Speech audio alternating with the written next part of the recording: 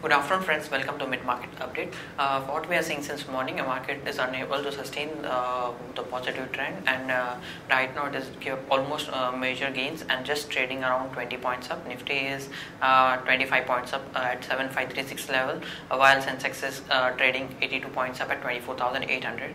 broader market index is also like mid cap index is also up 0.3 percent, similar to gains in Nifty and Sensex. However, small cap index is outperforming gains of 0.5 percent in terms of prominent gainers in mid-cap space, we are seeing buying interest in counters like Sustain, Mastech, Alpha Geo, ISFT, BFS Invest and ICIL India.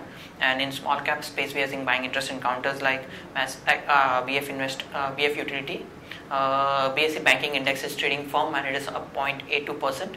Uh, we are seeing strong buying interest in counters like ICICI which is up nearly 3.3% at this point in time. Apart from that, we are seeing buying interest in counters like Axis Bank, Yes Bank and even uh, PSU PAC is supporting uh, Bank of Baroda, PNB and SBI are marginally up. Capital Good Index is also trading firm. It is up 0.38%, largely led by buying interest in counters like AIA Engineering, Sadbhav, Wabag, FAG Bearings, Havells and BHEL. FMCG index is trading firm at 0.7% largely led by ITC. Apart from that, we are, seeing buying interest in counters like Tea, Quality, BBTC, Dhampur Sugar, Eveready Industries and Colgate Palmolive.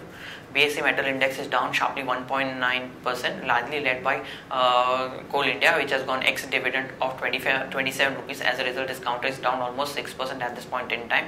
However, we are seeing buying interest in other metal pack like National Aluminium, NMDC, Hindalco, and uh, Vedanta, Hindustan Zinc, which are up uh, almost 1% at this point in time. Even Tata Steel is up marginally 0.7%.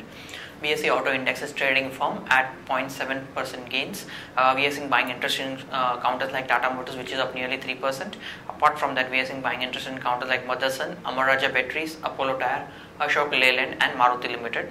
In terms of uh, prominent gainers and losers in Sensex at this point in time, prominent gains are seen in counters like ICICI, Tata Motors, GAIL, Adani, ITC and Axis Bank which are supporting the Sensex and companies which are negatively contributing the Sensex at this point in time are TCS which is down marginally 0.3%, Sun Pharma, Bharti Airtel, Wipro, Bajaj Auto and Coal India of course which is down 5.5%. Uh, rupee at this point in time is trading at almost flat at 67.04 levels. Friends that's all from advisory desk. Have a wonderful day ahead.